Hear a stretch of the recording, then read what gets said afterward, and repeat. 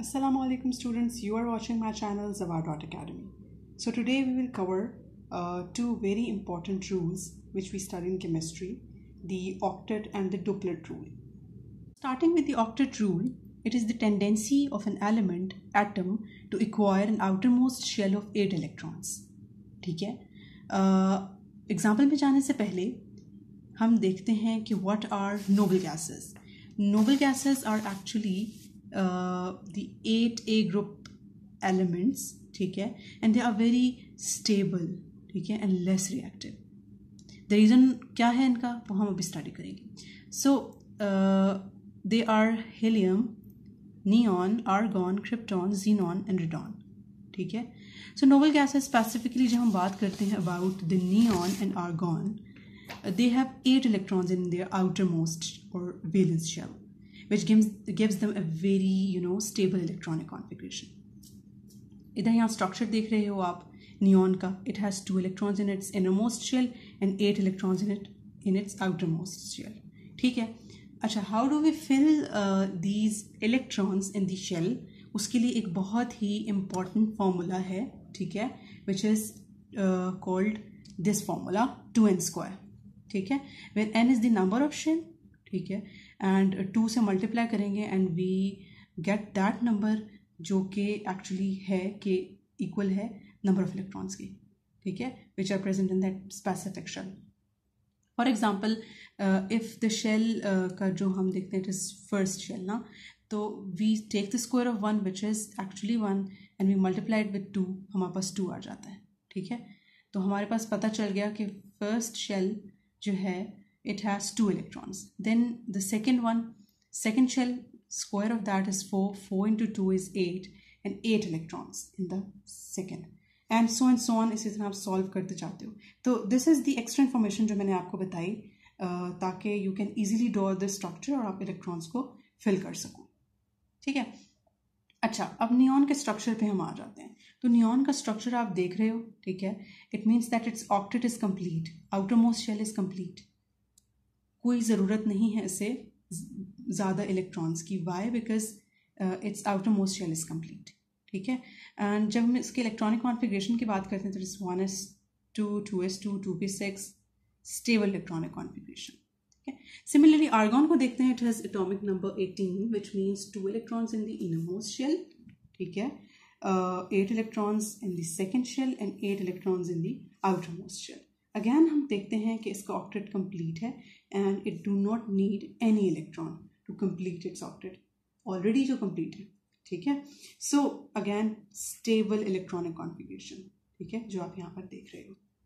सो so, uh, हमने कहा कि they are less reactive they are very stable तो uh, जो एलिमेंट्स हैं बाकी which are present the periodic table they want to become like these noble gases for that वो क्या करते हैं?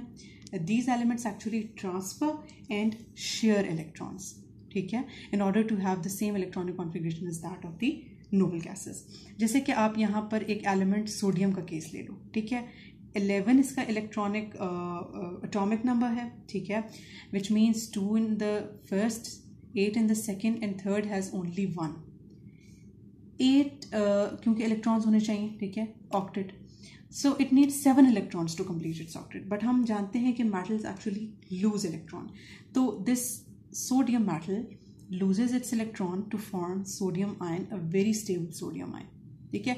इलेक्ट्रॉनिक कॉन्फ़िगरेशन अगर आप सोडियम की देखो तो it is very similar to that of neon ठीक है? नियॉन की आप इलेक्ट्रॉनिक कॉन्फ़िगरेशन देखो तो इट्स सिमिलर विच मीन्स कि इसका गोल अचीव हो गया and it is stable now just like noble gases similarly chlorine के बारे में अगर हम देखें तो chlorine it has actually you know seventeen atomic number है इसका which means two in the innermost eight second and the last or valence shell has seven which means that it need one more electron to complete its octet. तो क्या होता है कि ये electron gain करता है और अपना ऑक्टेट कंप्लीट कर लेता है। सिमिलरली जब हम यहाँ पर इसके इलेक्ट्रॉनिक कॉन्फ़िगरेशन को देखेंगे क्लोरीन आयन की it is very similar to that of argon ठीक है, क्योंकि हमने नोबल गैस आर्गॉन की देखी।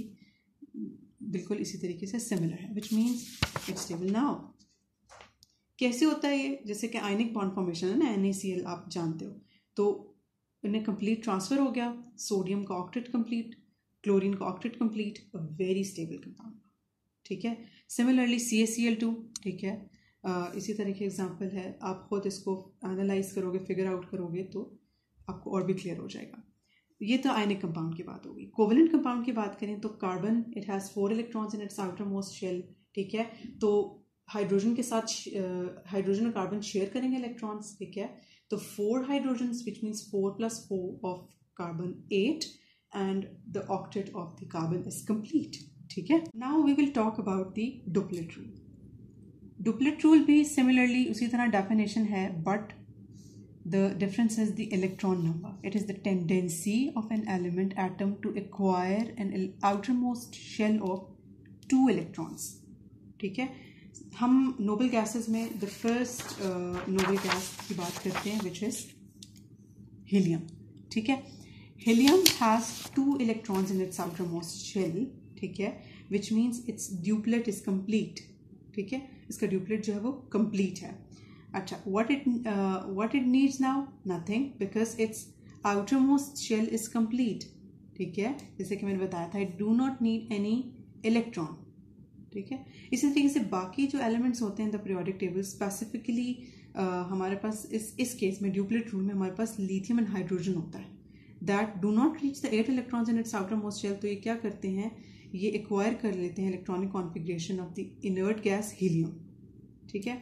जैसे कि आप एग्ज़ाम्पल में देख सकते हो कि लिथियम हैज़ थ्री इलेक्ट्रॉन्स ना टोटल एटॉमिक नंबर इसका है।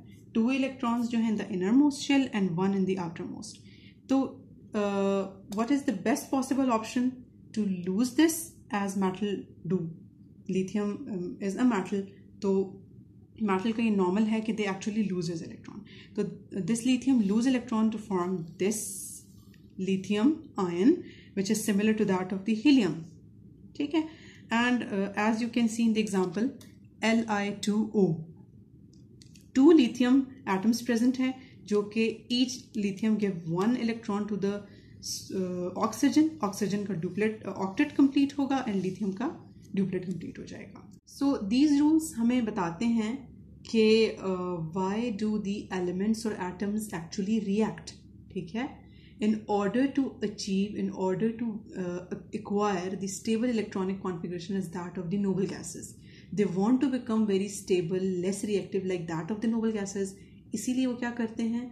They lose electron they gain electron ठीक है? विच मीन्स दे ट्रांसफ़र और समटाइम्स दे शेयर इलेक्ट्रॉन ठीक है? इसका पर्पज क्यों हो रहा होता है? All this is going because the elements want to become like the noble gases these topics they are very important if you want to study the next lecture the chemical reactivity